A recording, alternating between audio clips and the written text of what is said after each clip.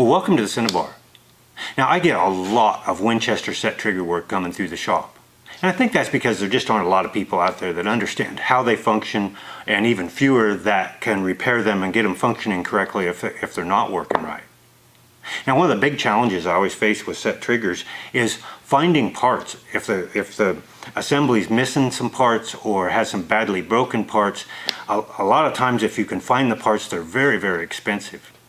In fact, not very long ago, I saw a, a complete 73 set trigger assembly, lower tang assembly, go through eBay and sell for a $1,000. Ironically, that particular assembly ended up going through this shop and, and was able to use it to get a, a nice 1873 set trigger gun functioning properly again. Now, there aren't any options for, for reproduction parts either that I know of. Now, for years, a gentleman by the name of Jim Gruder and all places Winchester, Wyoming, um, made reproduction set trigger parts for Winchesters and would even work on set trigger assemblies uh, if you sent them to him. But Jim's retired now and, and so that source is dried up. So I'm always on the lookout for set trigger parts for Winchesters. And recently I was at a show and, and uh, things got a little slow so I was out cruising the tables and I happened to walk by this table and there were some really badly rusted 1873 parts on the table. And after I had walked by, I thought, well, you better go back and check and see if there's any uh, set trigger parts in that bunch. And lo and behold, I went back and I found that this lower assembly was a, a, set trigger assembly. Had quite a few of the parts in it. I could see the top couple of springs were broken, but um, you know maybe it was worth taking a chance on. So we negotiated a price of $50 for for a, a lower a tang assembly, a rusty side plate and a rusty finger lever in hopes that I could recover something out of it. If I could get even one decent usable set trigger part out of this, it was worth the $50 that I spent on it. But the big question was whether I could get even one part out of it. And this thing is in rough, rough condition. Now, I didn't intend to make a video out of this, so I, I didn't get a, a before picture, but I've been, for a month now, every time I walk by, I dab a little Kroil on it and let it soak and I've been digging out some of the rust and, and crap and corrosion that was in there and it's it's starting to look a little bit better and I'm starting to get a little more positive about being able to, to get it apart and maybe salvage some parts and we even got a little bit of movement in the hammer now. So I thought I'd invite you folks along. We'll see if we can't bust this thing apart see if we can't uh, salvage anything and if we can see if we can uh, clean it up to where it might be useful for a future project. Now let's take a look at what I got for my hard-earned 50 bucks. we got a badly bent and broken finger lever, but it does have a decent looking cam on it. And theoretically anyway, those cams are removable. Um, maybe the ship sailed on that one, but we're going to give it a try and see if we can't salvage that cam off of there. We got a side plate here. Now the inside of this side plate is cratered worse than the surface of the moon. But the outside's really not that bad. There's a deep crater pit here, one right here where the side plate screw goes through, here and here. So we'll set that one aside and maybe someday we'll go back and, and TIG those up and spend way too much time trying to salvage that side plate. But here's why we, we bought this group of parts. Now, any sane person probably would have been went running the other direction as soon as they saw it. You can see that the rust here is just kind of eating away most of this side of this lower tang. Um, and and this thing, this was all just kind of covered up in gunk and, and old rust. But we can see that the the top two springs here are, are broken, so they're not salvageable. But the hammer itself, surprisingly, looks pretty decent. Uh, obviously, we wouldn't put that on a high condition gun, but I, I think we can clean it up if everything's still okay on it, and we can get it out. Now the, the, the half cock notch is still in good shape. The sear still looks pretty good. Uh, we can even see that the, the sear override or the fly there is, is still in there. Don't know whether we can get it. There's a piece of one of the uh, springs right there. That's the end of the knockoff spring. Okay, and, and looks like the, the knockoff itself and the catch hook here may be salvageable if we can get those out of there. So without further ado, let's see if we can just salvage anything at all out of this old girl. Okay, now that we've got a little bit of movement in this hammer, I'm feeling pretty confident that we can get this hammer out of here. Now we've got a lot of crap and corrosion on this side of the pin and this side not so much. So we're going to try to drive away from that, the worst looking side there rather than try to drive through it. Let's see if we can get it to go. Oh, it's going right out of there. Fantastic. Well, it started pretty easily, but now it's hanging up some. There we go. Awesome. That's fantastic. All right, and really I think we can clean this thing up. Our stirrup's bent, we maybe can bend that back. If it breaks, we can get another stirrup. And that that fly or or uh, sear override is in there. It's it's stuck. We've got a lot of Kroil that's, sitting on top both sides of the pin, and maybe we can get that out of there eventually. We'll set that aside for now. Okay, next thing, we'll see if we can't get this screw out that's holding the springs in. I don't think there's much hope for those springs. Like I say, the top two I can see for sure are broken. Kroil hopefully worked its magic. We put a little vibration by tapping. Oh man, look at that. That's fantastic. It, it broke right loose. Now, of course, I use Kroil. You may have something else that, that you like, but you know, I've just had fantastic luck with, with Kroil for this kind of situation. Okay, let's see. Of course, this one is, is broke off about halfway up that that arm on that uh, kickoff or kickoff catch spring ought to be about twice as long. We know the end of this one broke off because it fell out when I was showing it to you earlier. And we may have to take that next pin out. Oh, there, there it goes. So this, this is the uh, the knockoff spring. That's the big thick one in the middle, and of course the end of it's missing now. And then the bottom spring is our, our sear spring, and it's hanging in there a little bit tighter. It does seem to be com complete. So we'll see if we can get it out of there without breaking it. Of course, it's pretty pitted and it's a thin spring to start with, so it's it'll be kind of a miracle if we can save it. Because of the roughness there, it really doesn't want to give up and come out of there. Oh, there we go.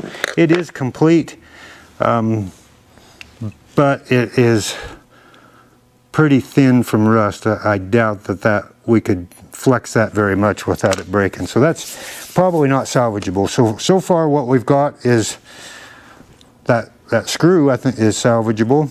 This hammer we'll have some high hopes for. Now let's see about getting the sear knockoff and I guess part of the the uh, trigger is actually in there. Oh, well we've got a pin here that we've salvaged, the hammer pin. Okay, so this one looks like we want to drive from this side. There's a lot more crap and corrosion on this side. So rather than drive through it, we'll drive away from the, the worst side here. Oh, this one's, oh, it broke loose.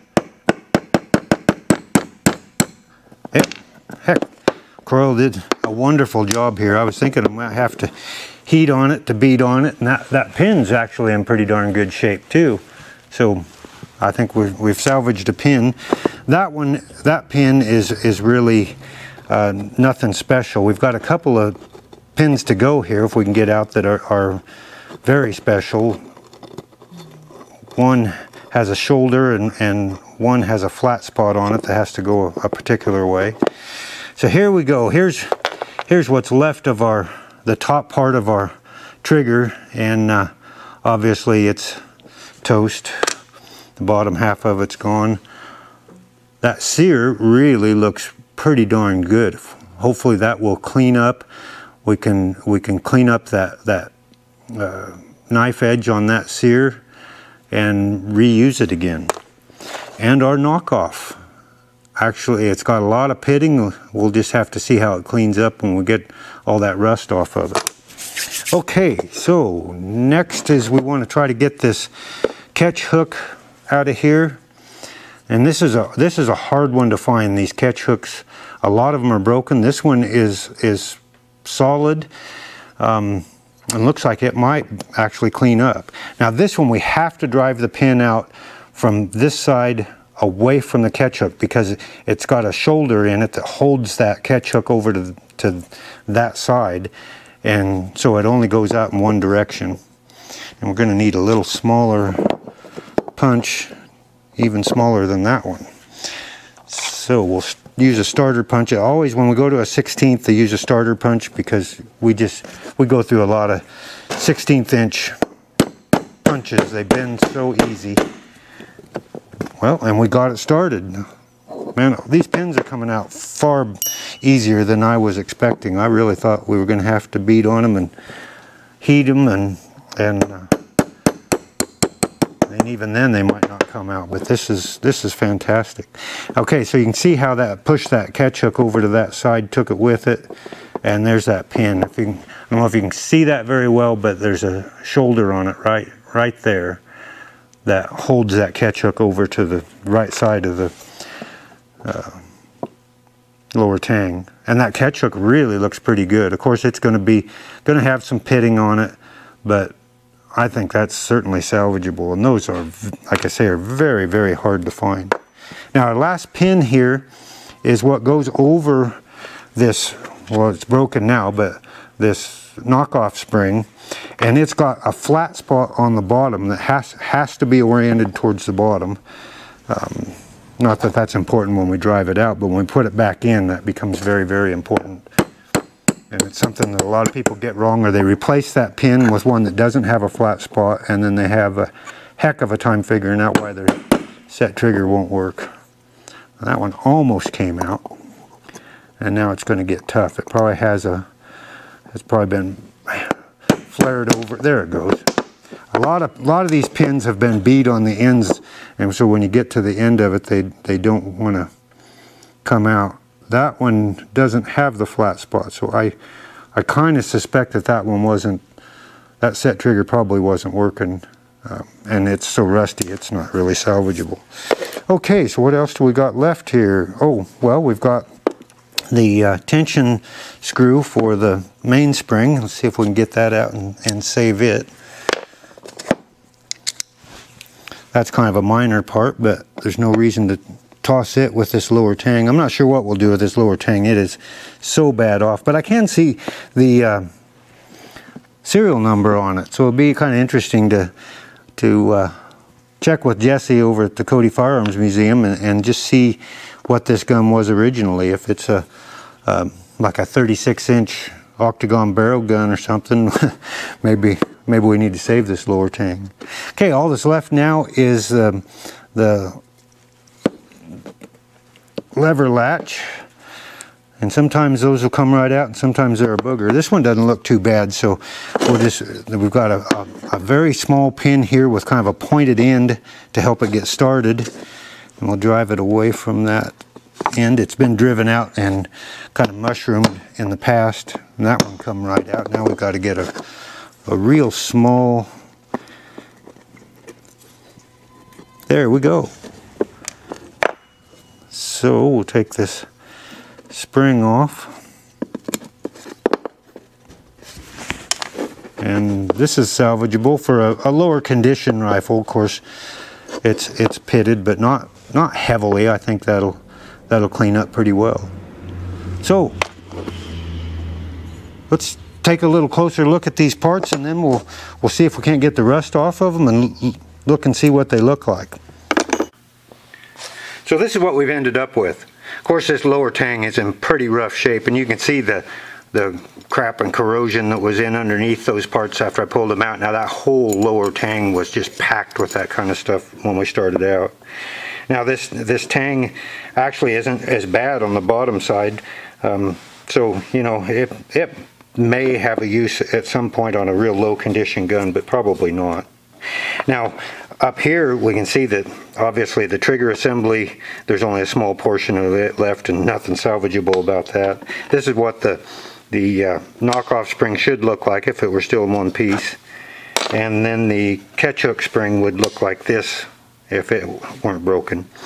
The sear spring, of course, as we mentioned, is just paper thin. I'm sure if we put that in a gun and, and pulled the trigger the first time, we'd just snap the end of that off. But everything below here, we still have hope for. So what we need to do now is, is clean it all up and get this rust off of it and see what's underneath all that, that surface rust and then uh, see if we can't get this, this fly sear override out of here, but we're going to get the rust off of it first. And to do that, we're going to take it over and soak it in some Evapo-Rust for a while and just see how that turns out. So before we drop our parts in this little jar of Evapo-Rust, we've got them soaking in some Simple Green for a little while, and then we're just going to scrub them off with a nylon brush. What we're trying to do is just get rid of the, the uh, loose rust that's on the outside, and you can probably see here that just sitting in this Simple Green for a while took a lot of the rust off and now uh, some of the parts that we've already done here are actually pretty clean and probably don't even need to go into the Evapo-Rust but we're going to put them in just to get them completely cleaned up anyway. Now one of the things to be careful of when you're using Evapo-Rust works excellent on parts like this but if you've got a blued part that has a little surface rust on it the Evapo-Rust isn't the stuff for you. Remember uh, bluing is actually a type of stabilized rust, so it's going to take the bluing right off with the whatever rust is on it. So we'll go ahead here and, and clean up the rest of these parts real quick like and uh, get them in the Evapo-Rust. We don't have to do a, a, super thorough job here. We're just, like I say, we're just getting the, the loose rust off of this stuff before it goes in the Evapo-Rust. And that'll give the Evapo-Rust a little better chance of getting in some of that deeper stuff if it's not so thick on the surface.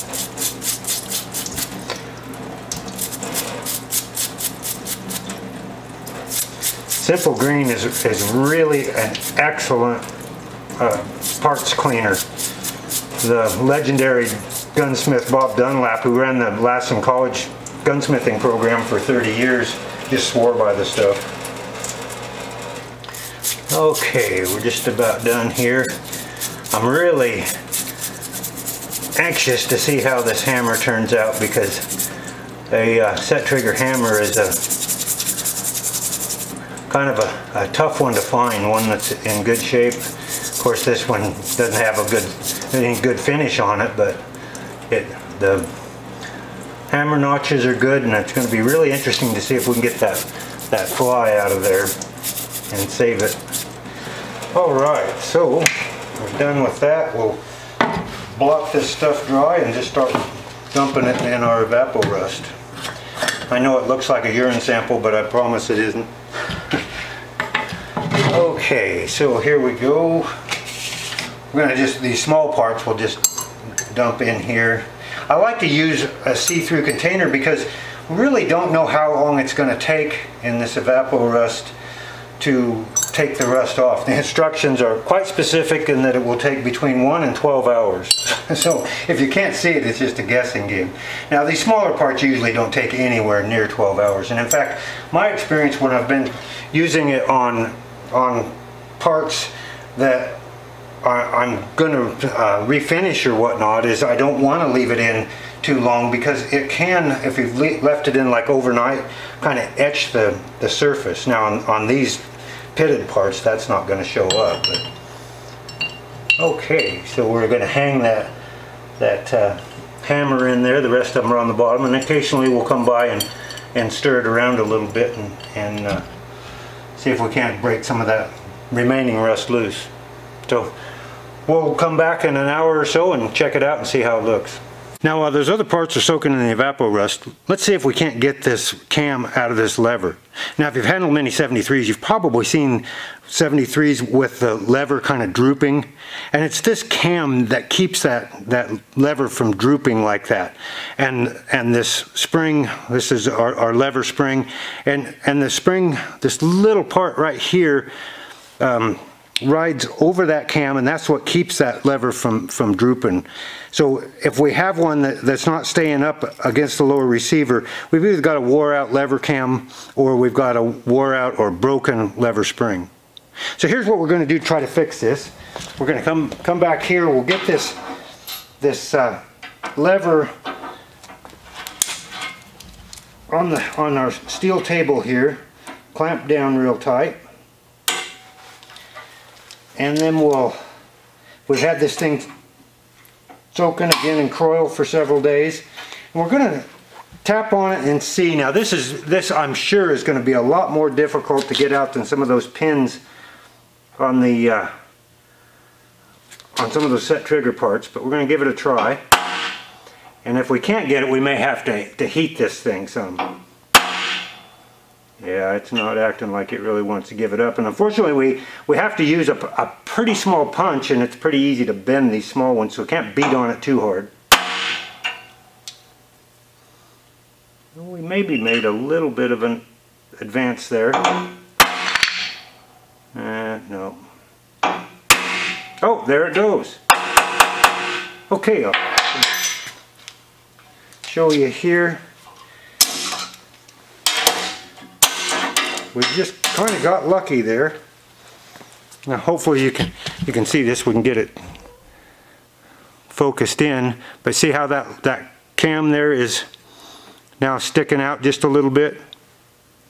Try to get the light on it where you can see it. So right in there now we've got room in the back so that's these darn autofocus make it really tough to show you up close shots but hopefully you can see that now that's pushed out that way so we'll go ahead and just punch it the rest of the way out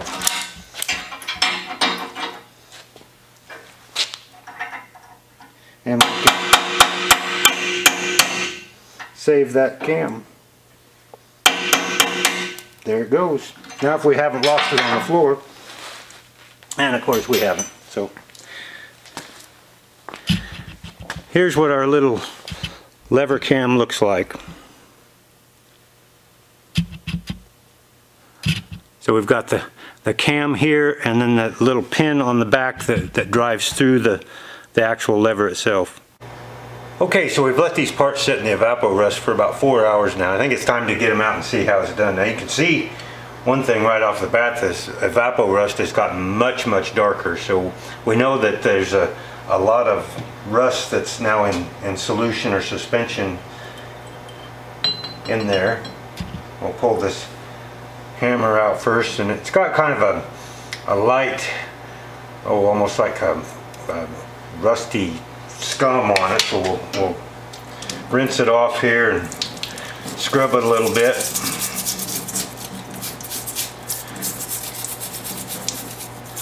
and I can see right up on the on the spur there was some heavier rust and we may have to actually go after it with a little steel wool or something but overall it's come out pretty darn good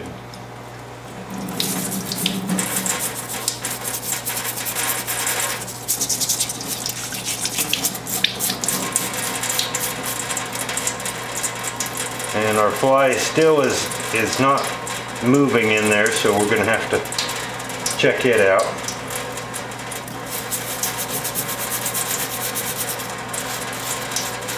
We're going to save this hammer, we have to get that fly to where it can move. Okay, these other parts, since usually you can get multiple uses out of this Evapo-Rust, but obviously I think we've, we've used this up, so we're just going to go ahead and, and dump it out. Then we'll clean the rest of these parts up and uh, just see how they turned out. Okay, now that we've got these parts cleaned up and, and rinsed off, um, we've kind of got mixed results, but mostly very positive. Now these these three pins, while they're they're discolored and a little rough, um, I'm sure they're going to polish right up and, and be reusable. These these two screws that we took out are in excellent shape, really kind of surprising to me. Uh, both the, the heads, the slots, and the, the, threads on them are in excellent condition and certainly usable.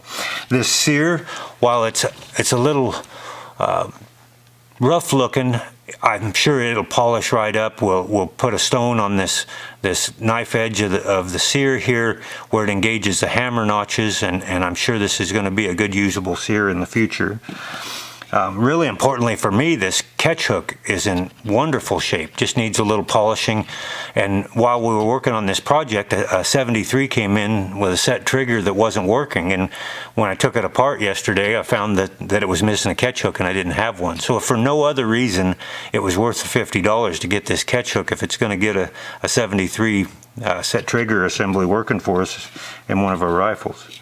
Now, I am a little disappointed. This this knockoff here, uh, it, it, for some reason rusted a lot more than the other parts. It's still really rough.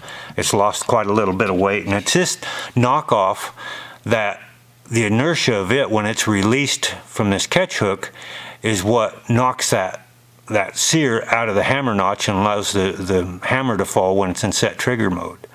So this is it's really important, and if it's if it's lightened up uh, much, it may not have enough energy to do that. And I'm not going to go into to uh, the mechanics of the set trigger a whole lot because I already did a video on that about a year ago. I did a video called uh, "Set Trigger Diagnosis and Repair." So if you're interested in, in how set triggers work, watch that episode. Now the, there's two parts that are seen from the outside of the, the rifle. And That's the, the hammer here and, and this lever latch. Now this lever latch is in good enough shape. It could go on a shooter grade rifle right now. So we're just going to leave that be. And then the hammer here, the hammer had a lot of pretty heavy rust on it. And you can see here that there are some, some places on this hammer where there's still a little bit of surface rust that it didn't get all the way through and and so we'll have to clean that up now the, the temptation always is let's get that that part all restored and ready to go so when a gun comes in that that we can use it for um, it's ready. But we don't know what the condition of that gun is going to be. So when it's an exterior part like this I always leave the restoration part of it and, until we see what the condition of the the rest of the gun looks like. Now just for the fun of it, because we're going to take this catch hook over and put it right in a rifle, I'll show you real quickly how we go about just polishing it up. And probably most of you know how to polish up a part, but we can either use a, a stone, we'll try it on, on a stone first and see how it's going. And it looks like that's going to work really good. Or in the case of something that's maybe a little rougher, we've got some sandpaper we can put with, with a backer here on, on, a, on a file and if it's really rough, we could even just start off with, with the, the file underneath and, and, and file it. This is a smooth cut file. This one doesn't really need it, but of course we could, we could start that way. And we can see that one's cleaning up really good. It's going to take a little while to get to the bottom of those pits, but um, it's not not too bad and, and we can leave some of those deeper pits it's really not going to affect the function of it we just don't want it so rough because it is going to be sliding against another part as it works in here. And of course the edges that that are going to be up against other parts we want to get those pretty smooth. Okay so we've got one last task. Let's see if we can't get this fly or sear override out of this hammer. Because if we can't get that freed up and, and working the, this hammer is pretty much useless to us. It, it won't function as a set trigger hammer. So let's see if we can't get it out okay so this little part right here is what we're going after. This is our fly or sear override. It's just a little piece of sheet metal and and it rides in a little groove right here uh, in the hammer now the early ones had one that was machined in on the outside out here. They call that an outside fly and this one's an inside fly. And what it does is when the, when the sear is engaged here, when we're in set trigger mode, if, if we knock that, that sear out, it'll drop into the half cock notch and, and won't fire. So that little piece of sheet metal, the sear catches on the edge of it and then that overrides and lets the hammer drop. Okay, it's a tiny little pin and it is a bugger to get out, but we're going to give it our best shot here. And it's, it's smaller than a 16th, so I've got a couple of little broken pieces of very, very small diameter punch that I'm going to use to try to get it started.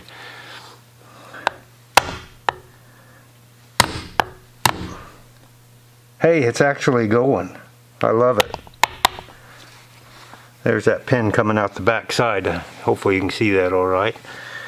Okay, let's see if we can get it all the way out and then we'll see if that that fly will come out without it because it's pretty well rusted in there. And I better save that pin. They're hard to come by. Of course, we, we could make one. They're, they're just a, a pin. Okay, now the fun begins. We're going to try get that darn thing to come out of there. Maybe we can work it back and forth a little with a brass punch. It's moving.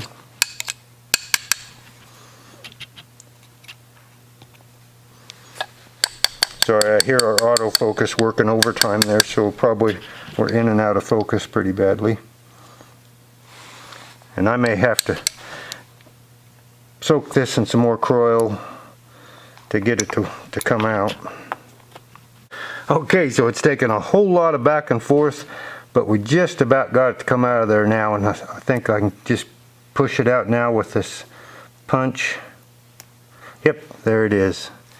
So it, it's actually, you know, it's a little pitted, but it's in, in very, very, very good shape. So I think that's going to be useful once we get it polished up. And then we're going to have to clean this, this really narrow little groove out here so that, that it can move freely in here. But this hammer, while it's not a thing of beauty anymore, it could be restored and it's certainly going to be a workable set trigger hammer again in the future. Now before we go, remember I said I needed that catch hook for a project 1873 that I was working on? Well, I went ahead and, and put this thing together with this old catch hook. Remember we were polishing up on that and maybe you can see that. It's just sticking up just out of the assembly there. And one of the really nice things about these 73s is we can set or test the set triggers outside the rifle. So anyway, let's see if, if we can get this thing to work. So we'll cock the hammer set the trigger. Now I'm going to keep that hammer from falling all the way. Yep, there it works. So that chance we took with 50 bucks at the at the gun show um, paid off at least for for this one. We've already got one set trigger assembly working and we've got all these leftover parts for the next project. So always keep an eye out for those hidden treasures at the gun shows. I hope you enjoyed today's episode. Until next time, happy trails from the Cinnabar.